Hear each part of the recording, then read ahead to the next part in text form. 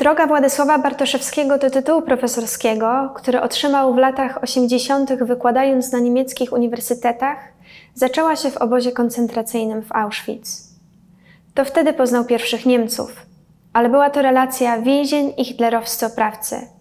Po latach powiedział: Gdyby mi ktoś 60 lat temu, gdy stałam skulony na placu apelowym w Auschwitz, powiedział, że będę miał przyjaciół Niemców, obywateli demokratycznego kraju, to bym powiedział, że to wariat. Kolejnego Niemca poznał w stalinowskim więzieniu. Był to Erich Engels, stracony za zbrodnie popełnione w czasie wojny na Żydach i Polakach. Po wyjściu z więzienia w 1954 roku usłyszał o rodzeństwie Sofii i Hansie Scholl, skazanych na śmierć za udział w organizacji antyhitlerowskiej Biała Róża. Przeczytał zapiski starszego o rok Hansa i zauważył, jak bliski był mu Niemiec. W czasie wojny żołnierz Wehrmachtu, z którym w okupowanej Warszawie nie zamieniłby nawet słowa. Wiele lat później Bartoszewski przemawiał na Uniwersytecie Monachijskim w Instytucie imienia Rodzeństwa Scholl w rocznicę ich stracenia. Był jak dotąd jedynym Polakiem zaproszonym do wygłoszenia wykładu w tym dniu. Mówił do młodych ludzi, którzy chcieli budować porozumienie między ludźmi różnych poglądów. Chcieli Niemiec wolnych od nazizmu. Spotykać się z młodymi Niemcami zaczął już w latach 60. Przyjeżdżali do Polski w ramach akcji Kościoła Ewangelickiego Znak Pokuty.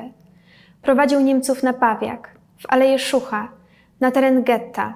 Opowiadał o powstaniu.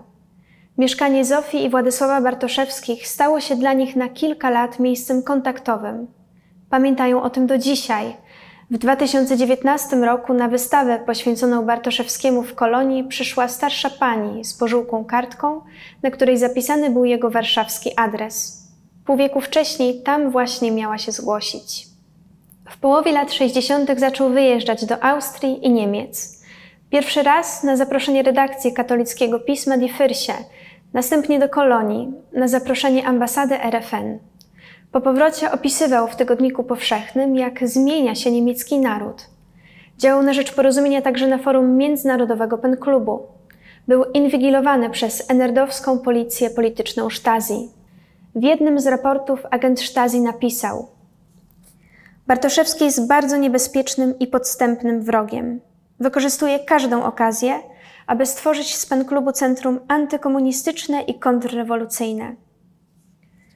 Przed wprowadzeniem stanu wojennego w Polsce był w Niemczech wielokrotnie.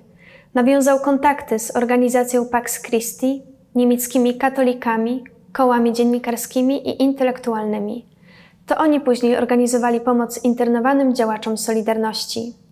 W Republice Federalnej Niemiec pojawiły się ulotki z fotografiami Bartoszewskiego i Tadeusza Mazowieckiego, wzywające władze PRL do ich uwolnienia.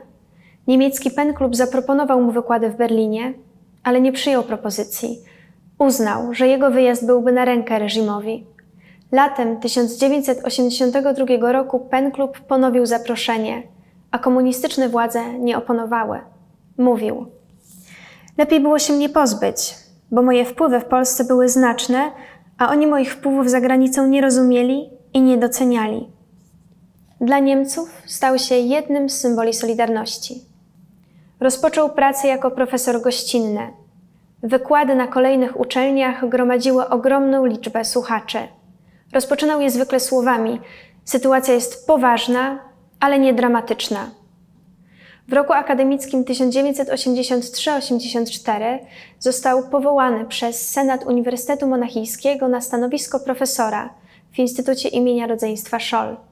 Opowiadał studentom o sytuacji Kościoła w PRL okupacji hitlerowskiej, zagładzie Żydów, państwie podziemnym i rządzie emigracyjnym. Młodzi Niemcy pisali na ten temat prace seminaryjne i dyplomowe. Później podjął pracę na niewielkim Uniwersytecie Katolickim w Eichstätt. Kiedy w październiku 1986 roku otrzymał Nagrodę Pokojową Księgarzy Niemieckich, jedną z najważniejszych wówczas nagród literackich, w Eichstätt świętowano, Uhonorowany został przecież profesor ich uczelni. Na ulicach rozmieszczono fotografie Bartoszewskiego. W kolejnych latach wykładał prasoznawstwo w Instytucie Medioznawstwa i Komunikacji Społecznej w Monachium, potem w Augsburgu.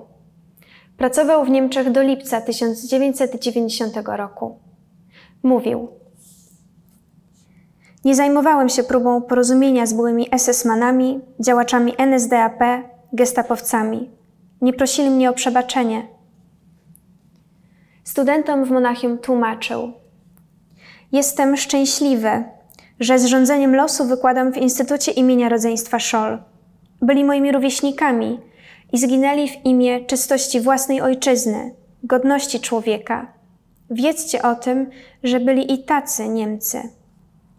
Przemawiając w 1995 roku przed połączonymi izbami niemieckiego parlamentu, już jako minister spraw zagranicznych wolnej Polski, powiedział: To nie ja się zmieniłem, to wyście się zmienili.